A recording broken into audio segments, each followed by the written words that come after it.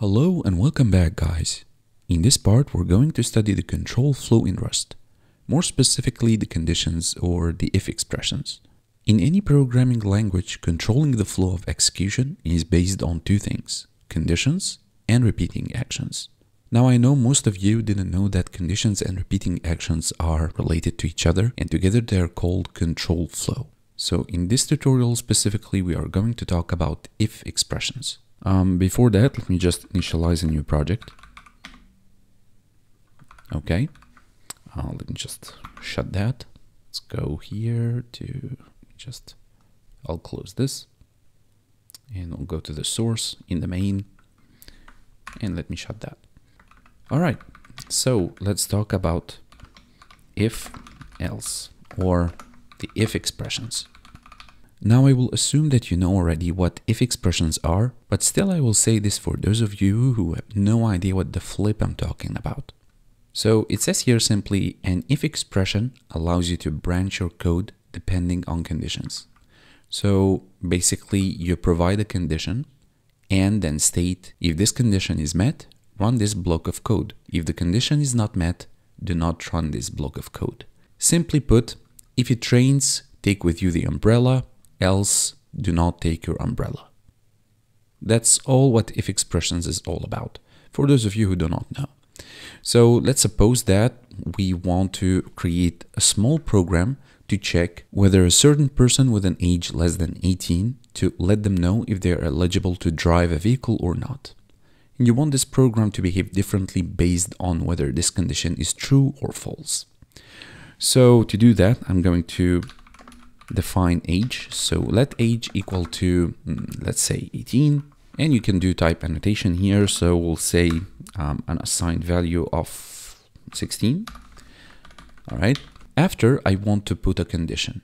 This condition is going to check if the age is equal to or more than 18. In this case, you can drive a car, else you're still a minor or you still cannot drive a car. To do that, I'm going simply to say if age is more than or equal to 18. In this case, uh, between curly braces, notice, print ln you're old enough to vote. That's funny. This is by Tabnine, by the way. It's like GitHub Copilot. So we'll say here print ln. Um, I'm just going to change the message. You can drive a car.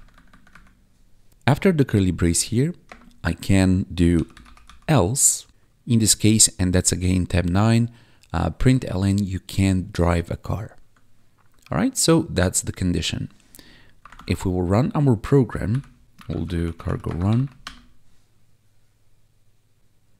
You can see here that you can drive a car because the condition was met and age is equal to 18 and our condition was if age is more than or equal to 18 then we want to print you can drive a car. By the way, if you want to bypass those ugly warnings, you can come in your project here and you can uh, just type that. Hash sign exclamation mark. Those uh, square brackets allow warnings in parentheses. Let's try that again. Let's do cargo run. And you can see it's much, much cleaner. And we have, of course, the same result. But this is in case of only one if expression. But sometimes we have multiple conditions with else if. And for those of you who are programming in Python, it's something like elif because basically elif it's else if in Python. Um, also, it's in JavaScript in most of the programming languages, it's else if. So it's the same in Rust. Um, let's have another example. Let me just comment all of those lines out. And I will come here, we'll say let number for instance, so we'll have a number and that number is equal to 6. Okay, uh, let me just add a comment here, multiple conditions with else if. So number is equal to 6 and I want to check out if number with the modulo sign 4 is equal to 0. In other words, if this number is divisible by 0 and will not return any remainder. So in that case, I want to print a line says that number is divisible by 4. Now, we want to check out different conditions, not only one. Because if only one extra condition, we will just type else. But if we have different conditions to check, then in this case, we'll do else if number is with the modulo 3 equal to 0. In this case, uh, we want to print out that number is divisible by 3. The same case with the number modulo 2, uh, we will print number is divisible by 2, else we will print number is not divisible by 4, 3, or 2.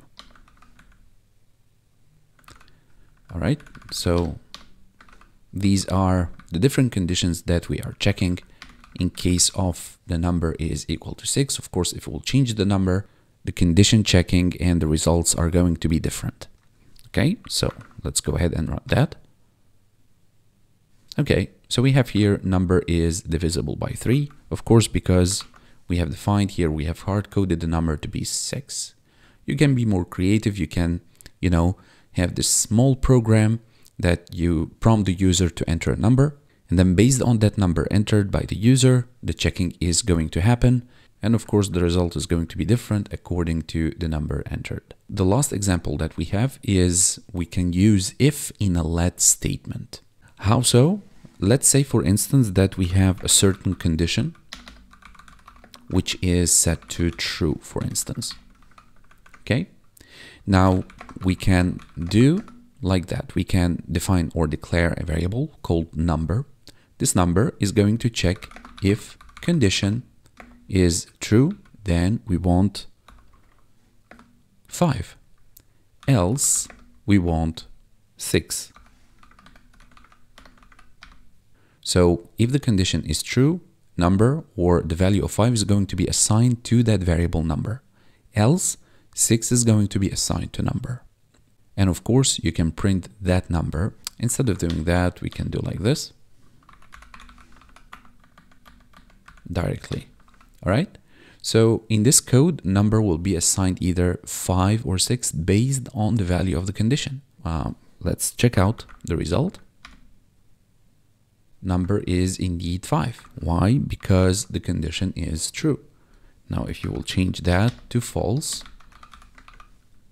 we'll run that again. Of course, number will be 6. Now remember that it's very important to ensure that the types of values in each arm of the if expressions are compatible. By the way, this is called arm, okay? Or else you will encounter errors when you will compile your code, okay?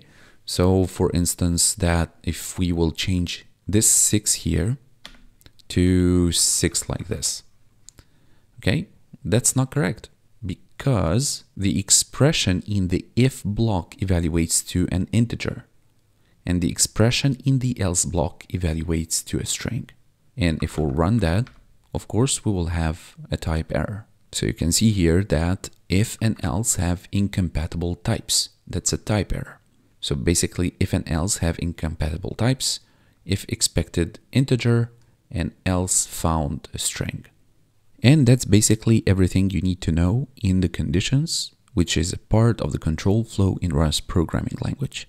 Thank you, and I will see you in the next part.